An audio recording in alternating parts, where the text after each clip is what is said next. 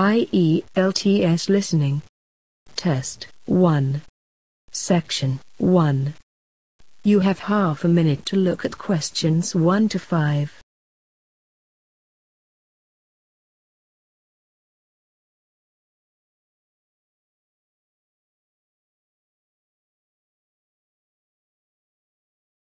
Welcome to Prime Travels.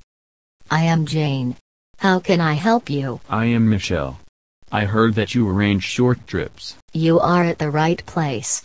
We provide the best service at a competent price. We organize short trips.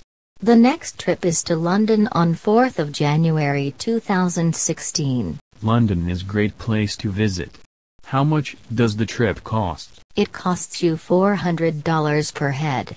Wait a second, there is a special offer for couple and it would cost $450 only.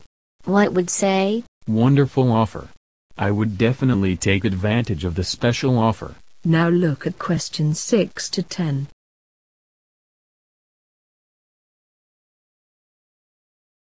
Well, you have to make a provisional booking by paying an amount of $250 in advance and the remaining amount one week before the trip date. Once a provisional booking is made you cannot cancel the trip. Shall I block two seats? Yes, book two seats to London. Excuse me. There is a small change. For special offer the traveler has to pay the whole amount of $450 in advance. If it is okay with you then I would make a provisional booking for two. In that case I need some more time. I would discuss with my family and then get back to you. Thanks for calling Prime Travels. That is the end of section 1.